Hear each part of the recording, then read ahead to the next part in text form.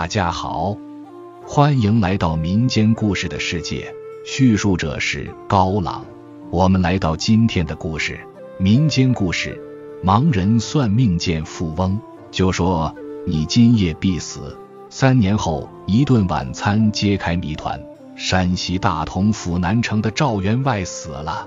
赵员外可是个好人呀，平日里修桥补路，接济乡民，乐善好施，是出了名的大善人。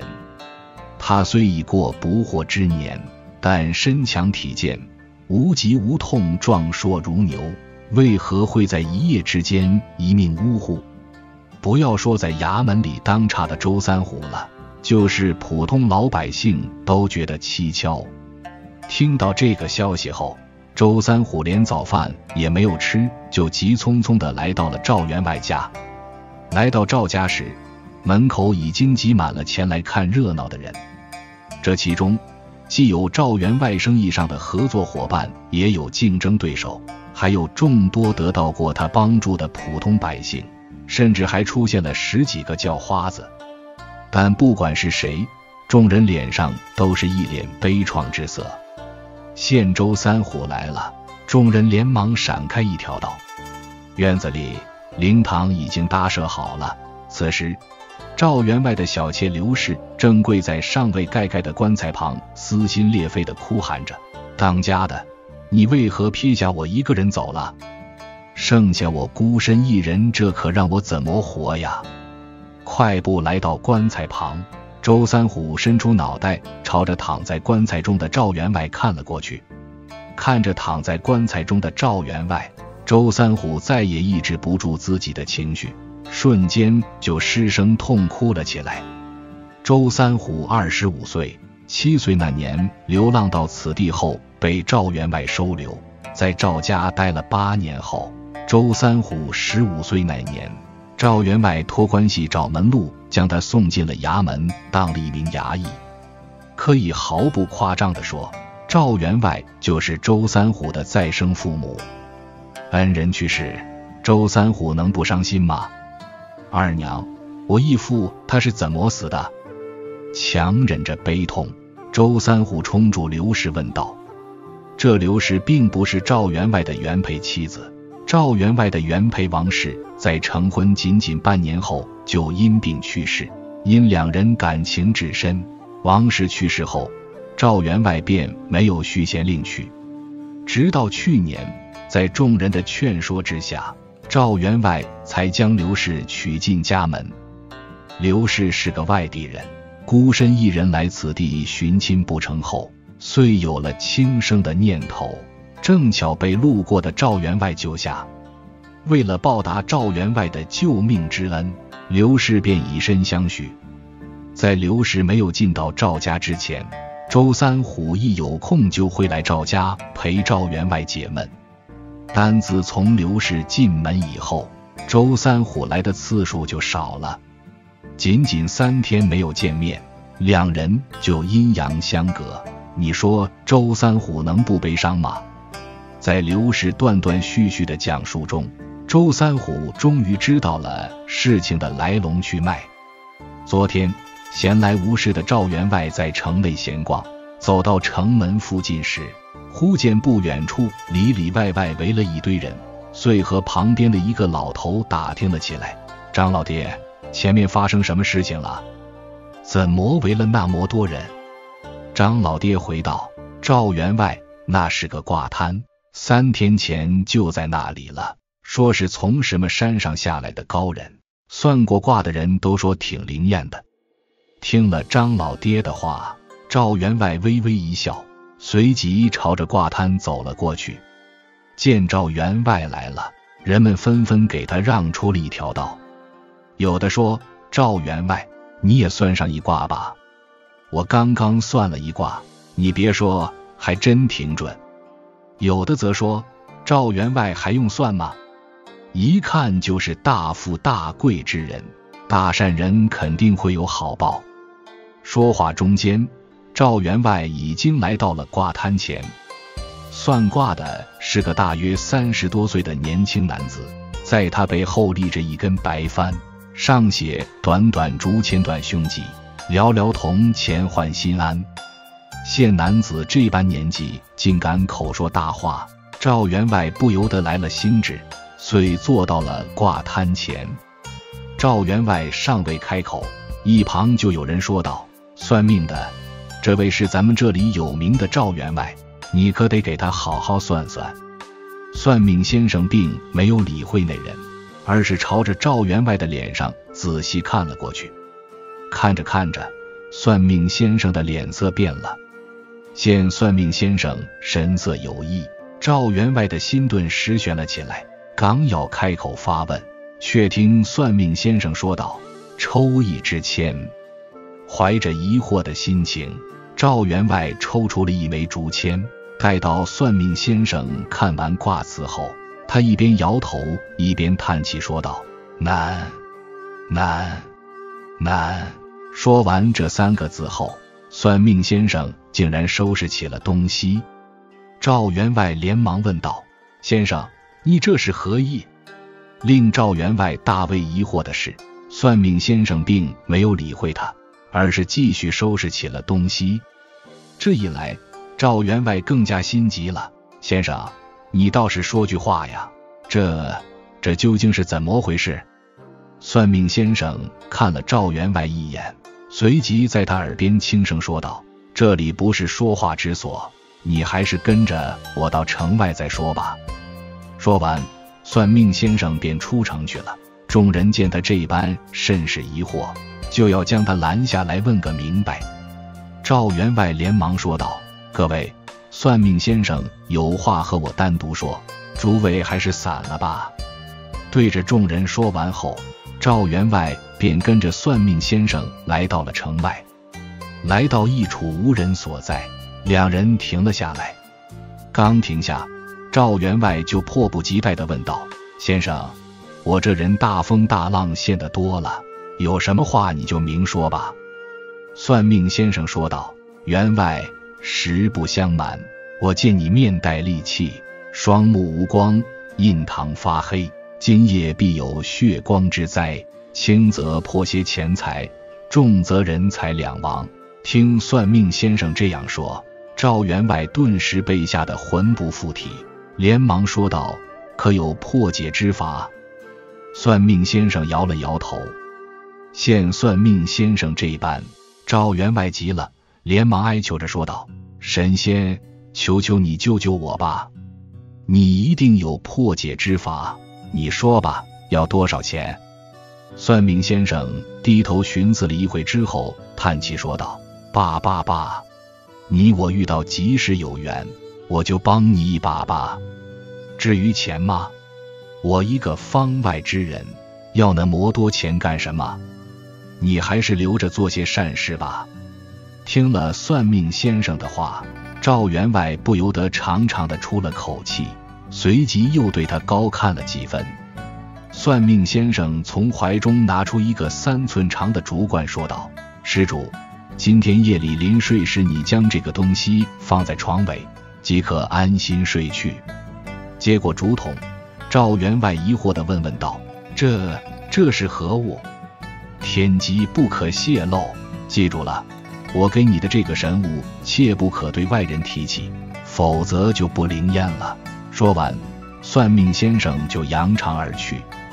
赵员外生性胆小，有了这档子事后，更加吓坏了。失魂落魄的回到家里后，便躺在床上长吁短叹。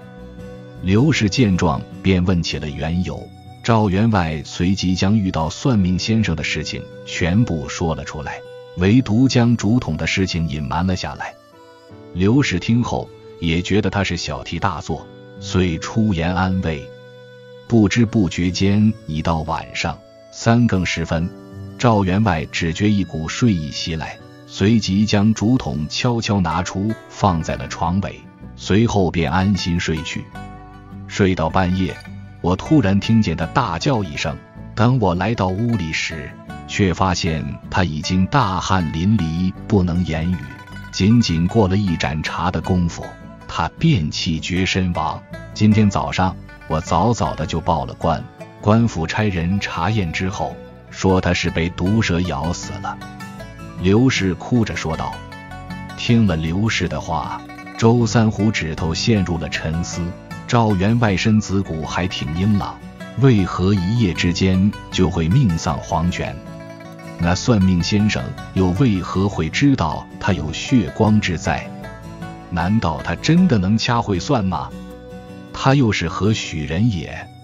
毒蛇，自己来到大同府已经十多年了，从未听说过有毒蛇伤人。这毒蛇是从哪里来的？为何会出现在赵员外的房间？就在周三虎在那里愣神之际，一个木匠走了过来，要将棺盖钉死。周三虎见状，连忙将他拦了下来。慢，我义父他死的蹊跷，这棺材不能钉死。见周三出面阻拦，刘氏便冲着他说道：“三虎，你这是干什么？”人家衙门已经来人看过了，说你爹是被毒蛇咬死的，你为何还要节外生枝？二娘，这大冬天的，怎么会有毒蛇出没？再说了，那算命先生说我义父这几天有血光之灾，当天夜里他就被毒蛇咬死，你难道不觉得奇怪吗？听周三虎这样说，那刘氏也不知如何作答。随即低声抽泣了起来。周三虎见人群当中有几个机位熟识之人，随即将他们叫过来，吩咐道：“各位，我义父对我恩重如山，如今他死得不明不白，我不能不管。为今之计，只有找到那个算命先生，才能解开所有谜团。”我暂时先拜托各位在此看守好尸身，免得让人动了手脚。我先去找找那个算命先生。那几人平日里也曾受过赵员外的恩惠，见赵员外一夜毙命，也深感同情，随即满口答应了下来。离开赵家后，周三虎先是找到了昨天在挂摊上见过赵员外的那些人，仔细打听了一番。那些人和刘氏说的丝毫不差。周三虎随即在城里打听起了算命先生的下落，但令他失望的是，那算命先生就像是蒸发了一般，消失不见。转眼间，三天时间已过。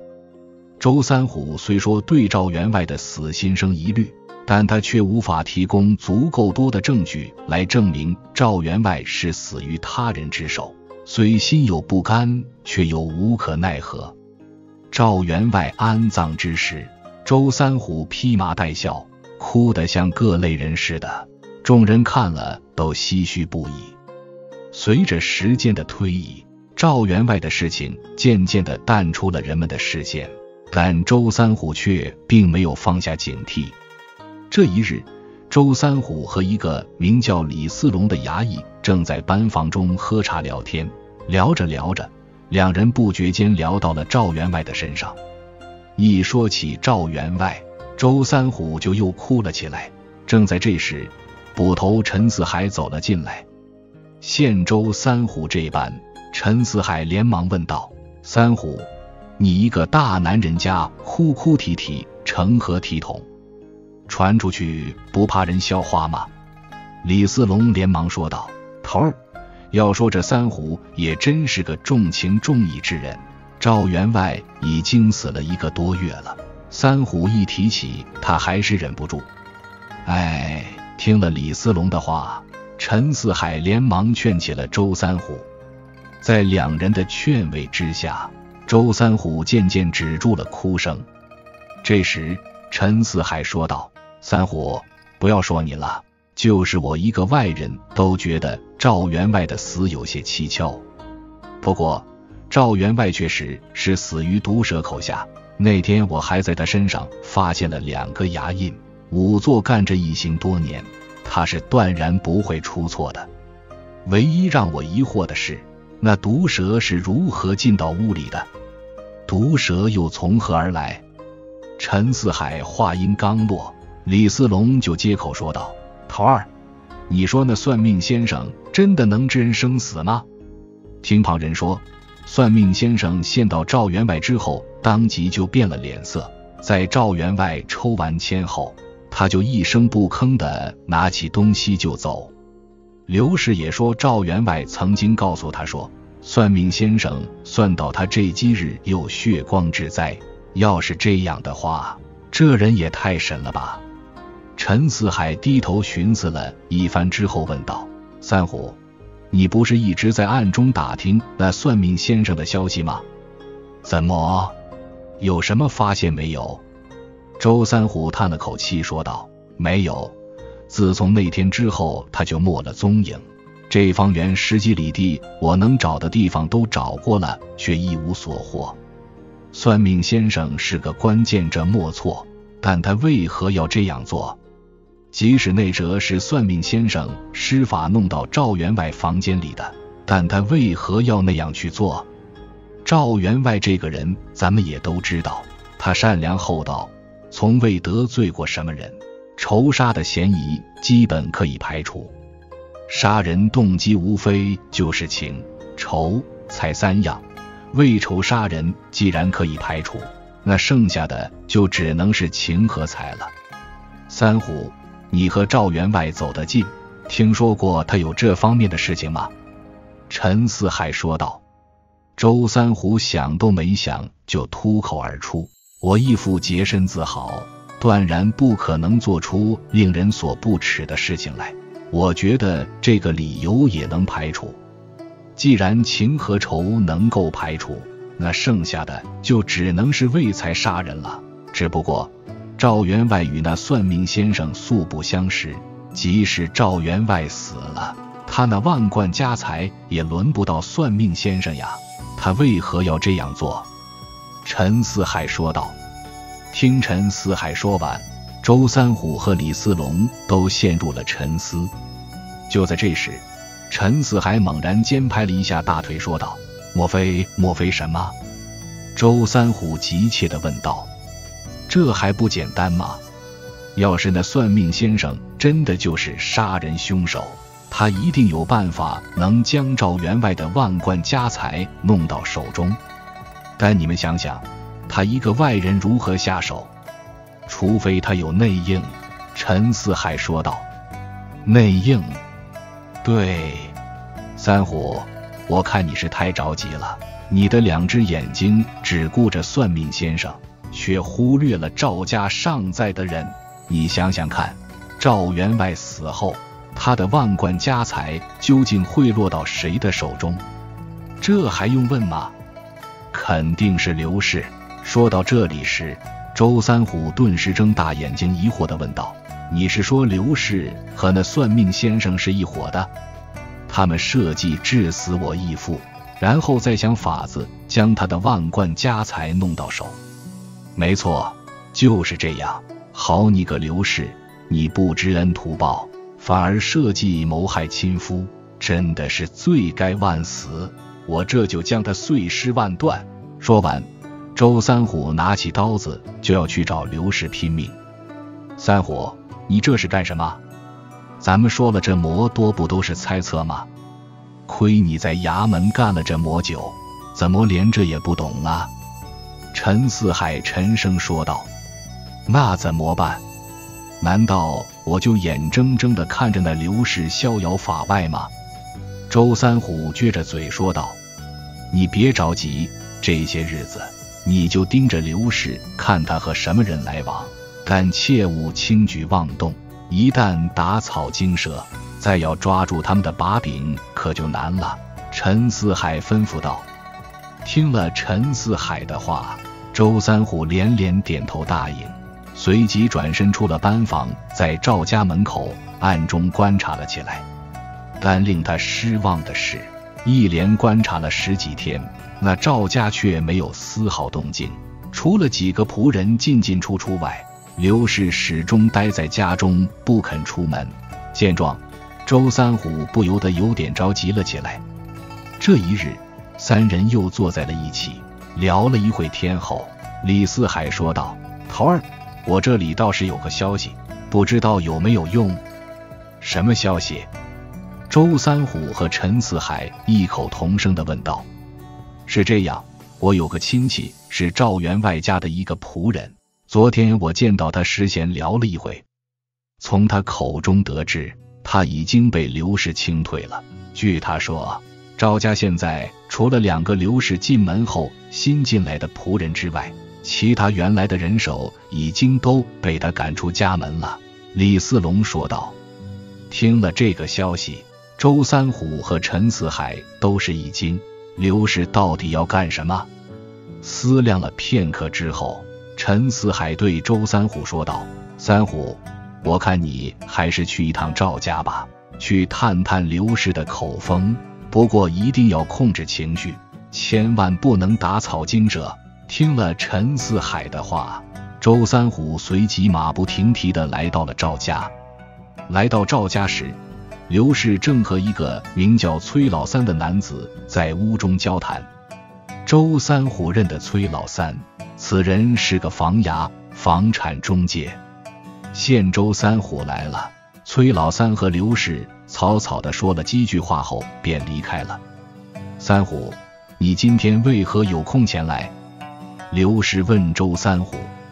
也没什么事情。我义父他走了好一段时间了，我就是前来看看二娘有什么事情需要帮忙。对了，那崔三狗前来所为何事？难道二娘你计划卖房子吗？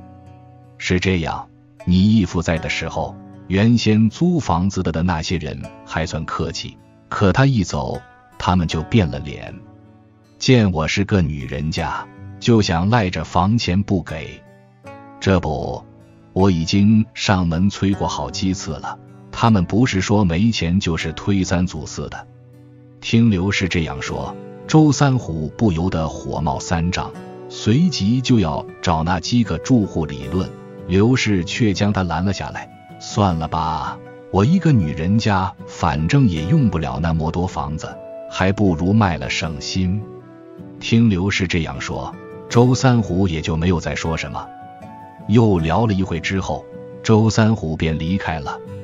回到班房之后，周三虎便对陈四海说道：“头儿，我刚才去了一趟赵家，除了见他准备卖掉多余的几处房子外，其他的并无异常。卖房子？”陈四海若有所思地说道。过了一会之后，陈四海说道：“三虎。”这几天你可得把刘氏给我盯紧了，我估计他这是要跑路。听了这话，周三虎顿时惊出了一身冷汗，随即赶紧辞别陈四海，又来到了赵家。五天后，周三虎见有几个陌生人从赵家走了出来，心中顿感不妙，遂上前打探。待问清楚之后，他傻眼了，赵家早已换了主人。那刘氏已于三天前搬走了。听到这个消息，周三虎犹如五雷轰顶一般，将这个消息告诉陈四海后，陈四海也倒吸了一口凉气。三虎，这也怨不得你，你又要当差，又要盯梢，一个人能有多大精力？也难为你了。不过话又说回来，这几天你就没发现什么异常吗？陈四海问道。周三虎叹了口气，说道：“异常？你这一说，我倒是想起来了。前天午后，有三四个人提着一个柜子从赵家出来。当时我还特意问了问周边的人，人们都说刘氏因为家里的柜子旧了，想换个新的。听人们这样说，我也就没在意。现在想来。”估计那刘氏是藏在柜子里面跑了，哎，都怪我！现周三虎在那里一个劲的埋怨自己。陈四海连忙劝慰起了他：“三虎，你也别太自责了。刘氏悄无声息的没了踪影，不正说明咱们的猜测都是正确的吗？他要是心里没有鬼，为什么要选择这样的方式从赵家出逃呢？”他这样一来，越发证明他自己就是和那算命先生是一伙的。正是这两人内外勾结，才将赵员外置于死地。有道是：天网恢恢，疏而不漏。人只要犯了罪责，迟早要遭到律法的严惩。听陈四海这样说，周三虎的心中才稍微好受了一点。转眼间，时间已经过去了三年。这三年里，周三虎虽说也曾想方设法打听算命先生及刘氏的下落，但两人就如同泥牛入海一般，没有任何消息。这年冬天，因为一桩案子，周三虎来到了离家三百多里外的一座小县城。因为到达时天已经黑了，周三虎便先在一间客栈里住了下来，计划明天早上再去办事。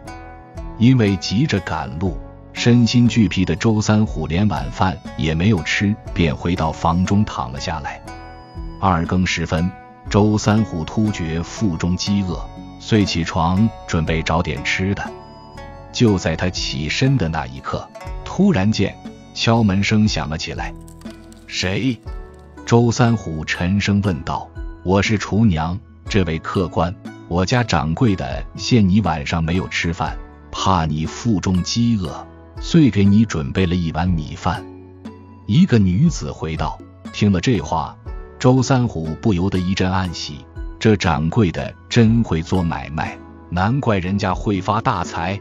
把门打开后，一个三十多岁、面带妻容的中年女子，端着一碗米饭和两盘小菜走了进来。将饭菜放到桌子上之后，那女子并没有走。而是在一旁等了起来，看着香喷喷的饭菜，周三虎不由得咽了咽口水，正要下手吃饭，却发现没有筷子，正要开口发问，却见厨娘一个劲的朝他挤眉弄眼。就在周三虎疑惑之际，厨娘快步走到桌边，伸手沾了点水，在桌子上写了一个“毒”字。看到这个字。周三虎顿时惊出了一身冷汗。再看厨娘时，厨娘又朝着他摇了摇头。看到厨娘的举动这般怪异，周三虎顿时明白了过来。周三虎一边将饭菜倒在地上，一边大声说道：“哎呀，真香！”听周三虎这样说，厨娘的脸上顿时露出了会心的笑容。又待了一会之后，厨娘端碗离开。厨娘走后，周三虎随即坐在那里寻思了起来：是谁要在我饭里下毒？那厨娘又是何人？她为何要救我？就在他苦苦思索之际，门外突然传来了一阵脚步声。听到声音，周三虎的心猛地一紧，随即赶紧躲在一旁，悄悄看了起来。片刻之后，门被推开了，紧接着。一男一女走了进来。待周三虎看清楚这两人时，他惊呆了。算命先生和刘氏看到这两人，周三虎瞬间暴怒，抡起钢刀就朝着两人砍了下去。算命先生和刘氏还以为周三虎已经身中剧毒，压根就没想到他还活着。猝不及防之下，两人被双双砍倒在地。见两人已经没有了还手之力，周三虎这才住了手，随即将两人捆了起来。就在这时，那厨娘也走了进来，见周三虎安然无恙，厨娘这才长长的出了口气。从厨娘口中得知，这家客栈就是算命先生和刘氏所开。周三虎刚进客栈，刘氏就认出了他。刘氏以为事情败露。当即就和算命先生商量，要将周三虎杀人灭口。那厨娘本姓张，半年前和丈夫来到此地谋生，谁知仅仅过了半个月，丈夫就身染重病。为了给丈夫治病，张氏便问刘氏借了点钱，钱花了，但丈夫的病却没有治好。为了还债，张氏便留在客栈当了一名厨娘。这天晚上，刘氏找到了张氏，说只要在周三虎的饭里下毒，就可让他离开此地。被逼无奈之下，刘氏只好答应。来到周三虎的房间后，刘氏幡然悔悟，随即悄悄地救下了周三虎。从算命先生和刘氏口中周三虎这才知道了赵员外死的真相。原来，这算命先生和刘氏早就是两口子，两人一直钳住坑蒙拐骗的勾当。打听到赵员外孤身一人之后，两人便将目标对准了他。刘氏编造谎话骗取赵员外的同情后，为了能将赵员外的家产悉数收入囊中。算命先生便假装给赵员外算命，将一个竹罐给了他。看到这里，你或许明白了，竹罐里面装的是一条毒蛇。那天夜里，赵员外将竹罐放到床尾后便睡住了。在他睡着不久，刘氏便悄悄地进了他的房间，将竹罐打开了。毒蛇爬出来之后，刘氏便拿着竹罐先行离开。等毒蛇将赵员外咬伤后，刘氏再次进入了赵员外的房间。那毒蛇虽小，但毒性极为厉害。没过多久，赵员外就一命呜呼。赵员外死后，他的家产就全部落入了刘氏的手中。随后，刘氏又将家产变卖并藏在柜子中逃了出来。两人会合后。便来到此地，改名换姓，经营起了客栈。后来，算命先生和刘氏受到了律法的严惩。时隔多年，这对恶人终于遭到了报应，还正应了那句话：“善恶到头终有报，只盼来早与来迟。”邀请大家继续看下一个故事，民间故事：花烛夜，新郎遇袭，新娘受辱，新郎同学嫌疑大。知县辨真凶。大明万历年间，太原有个秀才，姓杜，名坚，祖上世代经商，家财万贯，富甲一方。可是士农工商，商人地位最低，所以他父亲花重金请了一位举人教他读书。他也够争气，考中了秀才，不过终究没能中举。杜坚先有了两个女儿。直到中年才得了一个儿子，取名尤美，字小甫。他把一切希望都寄托在儿子身上，因此视若珍宝，也花重金聘请名师教儿子读书。杜坚有个妹妹，名叫凤娘，嫁给了县里一位举人，姓卢，名文达。卢家是书香世家，虽然比不上杜坚那么富裕。但也算是中等人家。凤娘为卢文达生了一个女儿，取名慧娟，和杜有美是同一个月出生的。杜坚的妻子正是和他的妹妹杜凤娘相处的跟亲姐妹似的，所以凤娘经常回娘家来看嫂子，对杜有美视如己出。杜有美和慧娟从小一起长大，两小无猜。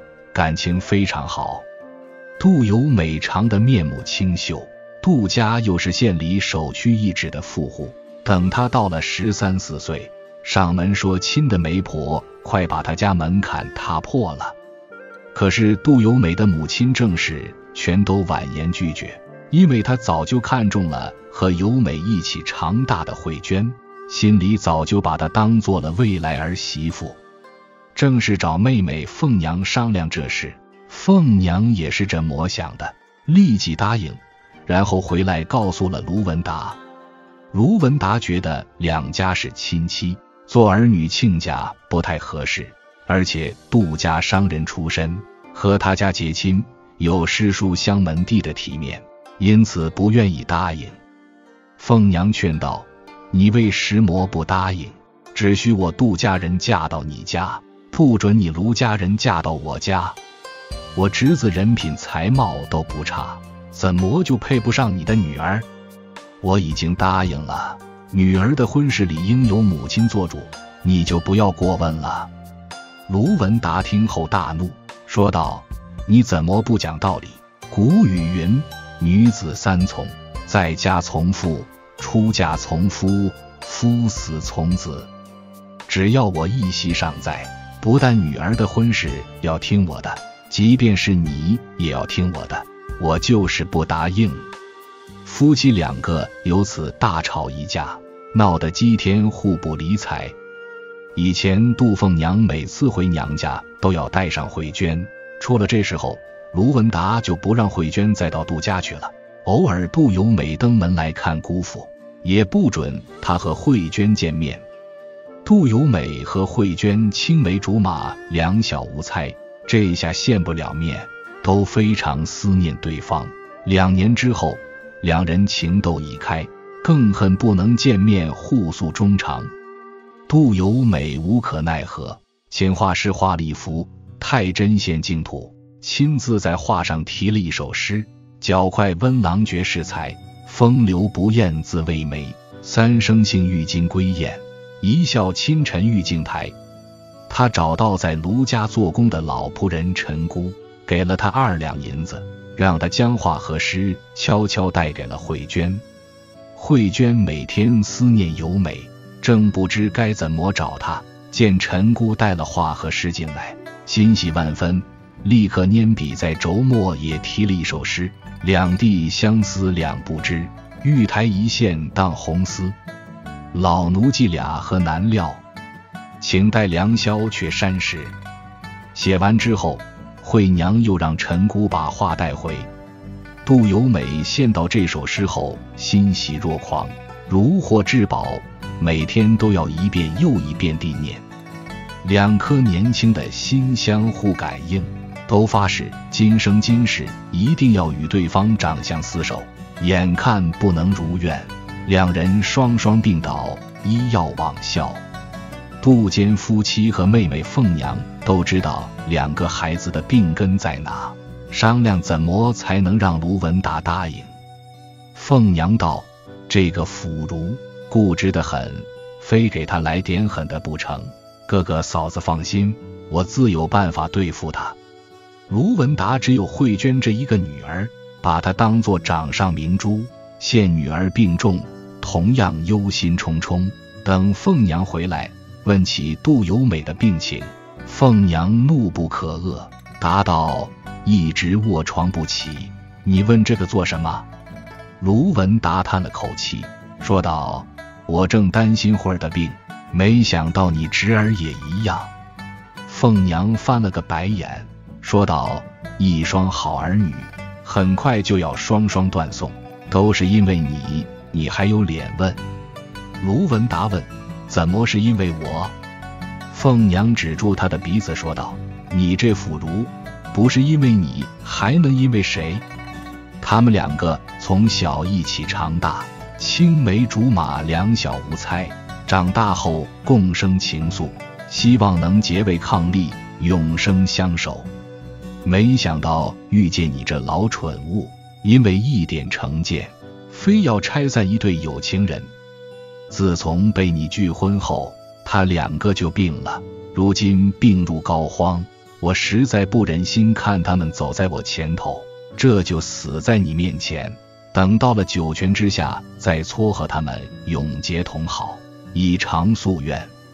凤娘说完，从袖子里抽出一把一尺来长的匕首，指住卢文达道：“再怎么说，我俩人也相守二十多年了，我先走一步，你好好保重自己吧。”卢文达知道妻子这是在威胁自己，看了半天才慢慢说道：“稍安勿躁，我们再商量商量嘛。”凤娘道：“我心意已决，还有什么好商量的？”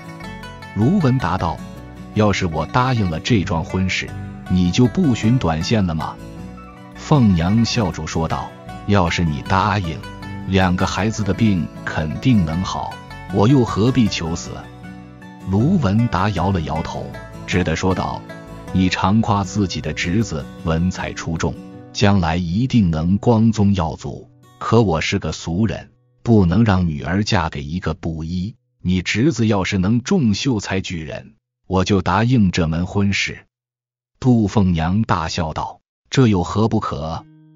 我侄儿听到这个好消息，一定会加倍努力读书，考上秀才举人不在话下。”卢文达道：“那好，你回去请哥嫂来，我们定下契约，只要有美能中举，我立即答应女儿嫁过去。”凤娘万分高兴，第二天就把喜讯告诉了哥嫂杜由美和惠娘。听到消息，一天天好了起来。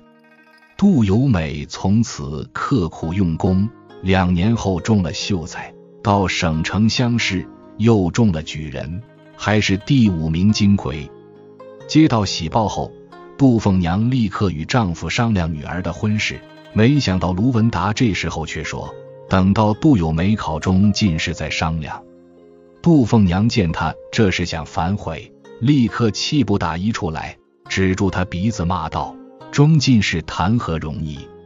你祖上三代考了几十年，也就出了你族叔一个进士，你考了二十年，也不过是个举人。我侄子能中举，已经很幸运了。”人生能有几次这么幸运？等他中进士，那要等到什么时候？看来你根本就没想答应。我这就回娘家，以后你一个人过吧。卢文达不得已只能答应。杜坚夫妻大喜，立即下聘，为儿子定下了婚期。杜坚家族上都是商人，后来他中了秀才，为了给家里添一些书卷气。花重金在家里修了一个藏书楼，里面收藏了很多书。附近的学子们经常到他家来借书。杜由美有十多个同窗好友，经常到他家来借书。其中有两个人和他最是投缘，一个叫周尚礼，一个叫韦思珍，堪称莫逆之交。凭着这份关系，周尚礼和韦思珍两人经常来他家看书。甚至带住铺盖住在他家的藏书楼上。杜由美的婚期定在九月下旬，天气已凉，但还不冷。两人又带住铺盖来到他家藏书楼读书。两人读书累了，靠在桌前闲聊。周尚礼悄悄对韦思珍说道：“由美和慧娟真是天生一对，如今能缔结连理，真是颇费了一番周折。”到了洞房花烛夜，不知道会是怎样的如胶似漆。等到了那天，我们两个去听墙根，你说好不好？韦思珍笑着说道：“好，好。我看他的婚房就在藏书楼下边，我们先藏在楼上，到时候咱俩找机会悄悄下去。”就在两人偷偷商量的时候，杜有美正好来到楼上。在门外听到了他俩的话，停在门前偷笑，琢磨住到了洞房那天该怎么整治整治这俩家伙。富商杜家公子的婚礼惊动了附近十里八乡的百姓，大家都来看热闹。新郎骑住高头大马，一路吹吹打打，把新娘子的大花轿接到路口，杜家则被围得水泄不通。杜家张灯结彩，锣鼓喧天，热闹非凡。宾客迎门座无虚席，个个喜气洋洋。新郎新娘拜了天地，新娘子被送入洞房，留下新郎招呼客人。酒席直到二更天才散。杜由美来到洞房，让丫鬟们退下，掀开盖头，见新娘子眉目传情，娇俏妩媚，内心激动不已。杜由美正要脱去新郎官服，准备和慧娟诉说衷肠，忽然又想起了前两天周尚礼对韦思珍说要来听墙根的话，想看看他们到底要怎么办。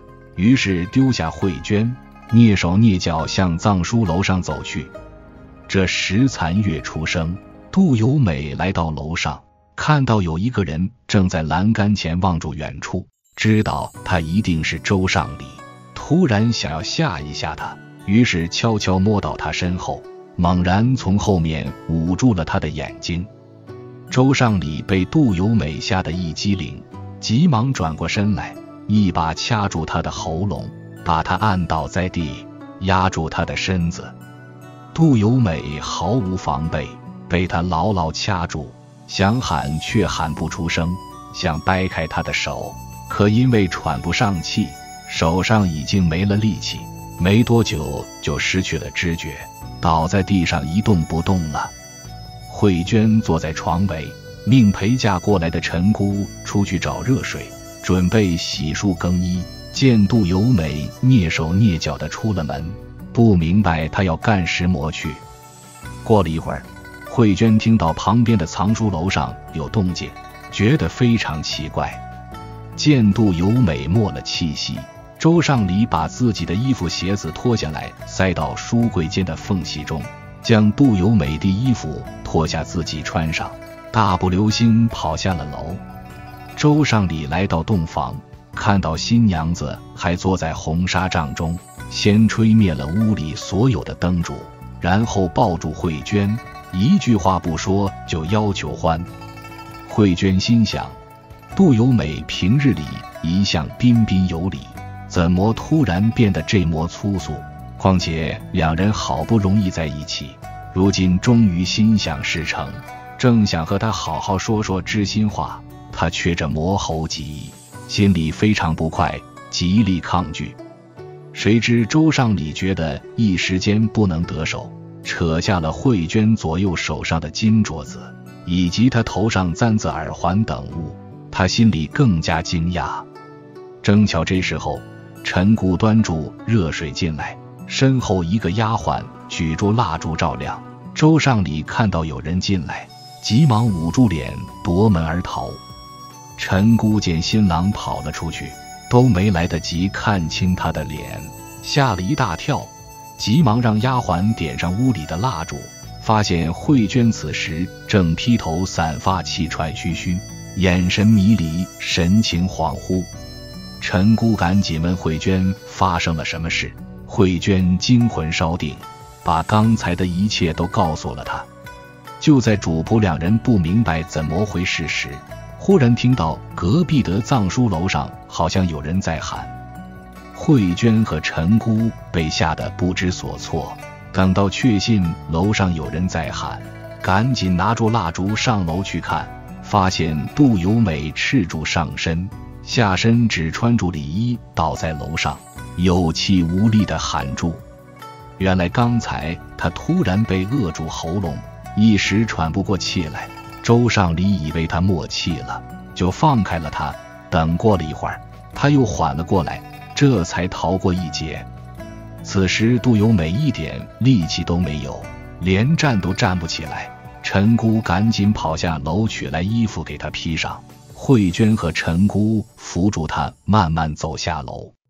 杜由美躺在绣榻上，一句话也说不出来。慧娟急忙问她发生了什么，她止住自己的喉咙，摆摆手示意自己现在不能说话。慧娟不知道发生了什么，赶忙让丫鬟去请公婆来。她知道。不能这样衣衫不整的见公婆，整理好散乱的衣服和头发，然后坐到杜由美身边，泪如雨下。杜坚夫妻俩得知儿子这边出事了，立刻赶了过来，见儿子一句话不说，询问慧娟发生了什么。慧娟将刚才发生的事情一五一十告诉了公公婆婆，然后和公婆守住丈夫。一直到五更天，杜由美才慢慢缓过来，把发生的事告诉了父母和妻子。杜由美觉得平时代周尚礼不薄，怎么也想不出他竟然会做出这种事。不过好在他只是抢走了几件首饰，慧娟没有遭到欺辱，总算是不幸中的万幸。杜坚问他两人有没有看清楚对方的脸。到底是不是周尚礼？杜由美说，当时太黑，莫看清脸，只看到人影。而慧娟和陈姑都不认识周尚礼，自然也就不能确定就是他。天亮之后，杜坚向下人询问周尚礼昨晚的行踪。看门的家丁说，昨晚看到他三更半夜穿着短衣和靴子，慌里慌张地跑出了门，十分奇怪。有了看门家丁的见证，杜建夫妻杜由美和慧娟都认为昨夜确实是周尚礼无疑。杜坚夫妻觉得周尚礼可能是喝多了一时糊涂，既然慧娟没有受辱，这又不是什么好事，不宜张扬出去，于是告诫家里的人，绝对不能传出去。家里的下人是不敢说出去，可是慧娟忍不住告诉了母亲。凤娘得知女儿差点受辱，来问哥嫂。杜坚和妻子把事情都告诉了他，还让他也不要外传。凤娘心有不甘，把事情告诉了丈夫。卢文达知道以后勃然大怒，急匆匆赶到杜家，数落他没有血性，不配为人父。况且那周尚礼也算是远近闻名的才子，这样的所作所为，真算得上是衣冠禽兽。要是现在纵容他，还不知道他以后会干出什么事来。卢文达将杜坚大骂一顿，一纸诉状把他告到了县衙。周尚礼家也是县里的富户，知县名叫杨德，和他素有交情。见到卢文达递上来的状子后，大吃一惊，不敢相信这是真的，赶紧把他找来，将状子拿给他看。周尚礼看完诉状，吓得大汗淋漓，随即大呼冤枉。周尚礼指天发誓道：“我确实和韦思珍说过要去听墙根，可是那天我喝多了，是韦思珍把我扶到了屋里，之后就睡住了。韦思珍见我醉了，就自己回家了。等我醒来，见他不在，看外面月光皎洁。”我也回家了，走到杜家大门前时，还看到他家看门的家丁出来方便。这一切韦思珍都能作证。再说，学生虽然有时候举止轻浮浪荡一些，但绝不敢做这种污人清白、败坏人伦的事，还请明公明察。杨知县相信周尚礼绝做不出这种事，安慰了他几句，就放他回去了。接着又拜托熟人到卢文达面前为周尚礼辩解，希望他能撤诉，不予追究。卢文达是为了给女儿讨个公道，当然不愿意撤诉，而且有看门人的证言，怎么能有假？他认为杨知县这是有意偏袒周尚礼，便又告到了知府衙门，以求水落石出。知府接到诉状。命杨知县认真追查，周尚礼那边也让韦思珍出来作证，双方都有证人，又都拿不出关键性的铁证，因此案子辗转牵缠一年有余，却一直没有定论。不久以后，杨知县任期满了，新来的知县姓李，名乙，在断案方面颇有建树，远近闻名。见到这个久拖不决的案子后，反复琢磨，仔细思量。几天后，李知县升堂问案，将一干人等全都叫来，挨个仔细询问。李知县寻思良久，突然眼前一亮，心想：不管案犯是不是周尚礼，杜家儿媳身上的首饰确实是被人劫去了，并且据杜家人说，杜有美当时是赤足上身倒在楼上。身上的新郎礼服被人脱下，陪嫁的陈姑和丫鬟说看到有个穿着新郎礼服的人跑了出去。那么，案犯原来的衣服在哪里？总不可能随身带住，肯定是藏在楼上。只要找到案犯原来的衣服，这件案子或许就能水落石出。想到这里，李知县立刻带领衙役来到杜家。亲自到藏书楼上搜寻，果然在书柜之间的夹缝里发现了满是尘土，已经被老鼠咬出破洞的衣服和鞋袜。李知县很快在衣服里发现了一封信，信上是某某某给一个叫阿奔的人的招读书。李知县立刻向涉案人等询问信上的人都是谁。杜家人立刻站出来说：“这个阿奔是杜有梅奶妈的儿子。”李知县立刻命人拘拿这个阿奔到衙，稍加审讯，阿奔就招出了实情，案子终于真相大白，同时也证实周尚礼确实是冤枉的。杜有美的奶妈姓朱，她的儿子名叫阿奔，一向游手好闲，吃喝嫖赌样样来，输了钱就窜进杜家偷东西，典当后用来还赌债。杜家知道阿奔手脚不干净，叮嘱看门的千万不要让他溜进来。杜由美迎亲那天来了很多贺喜的亲友，阿奔早就想趁这时候捞一把，于是乘机混了进来，躲到了藏书楼上。阿奔躲在楼上，准备趁机下手，不料杜由美突然来到，错把他当成了周尚礼，悄悄从后面捂住了他的眼睛。阿奔被吓得魂飞魄散，以为是被杜家的家丁抓到了。转身就掐住了来人的脖子，等到来人不动了，他仔细一看，才发现来人竟然是杜由美。这时候，阿奔突然产生了一个邪恶的念头，想到此时肯定是新娘子一个人在洞房，于是脱下了杜由美身上的新郎礼服，溜进了洞房。杨知县相信周尚礼是冤枉的。却不去找寻证据为他证明清白，而是想住怎么把这件案子压下来，反而让双方都陷入困境，真是可笑又可恨。幸亏新来的知县明察秋毫，才最终证明了周尚礼的清白，并且还了受害者慧娟一个公道。遇到案子，不是想住怎么去查个水落石出，却把心思都用在如何遮盖上。